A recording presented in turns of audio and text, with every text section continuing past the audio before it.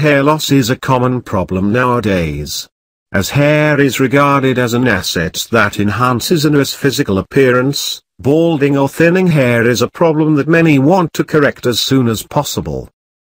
Some of the common factors contributing to thinning hair are excessive physical or emotional stress, hormonal imbalances, nutritional deficiencies, pollution, allergies, use of wrong hair care products, poor hair care routine, and heredity.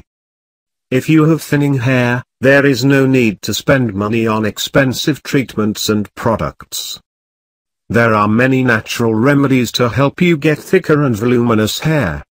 Here are 4 excellent home remedies to thicken your hair naturally.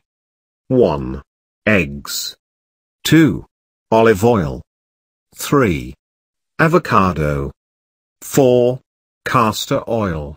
Oil.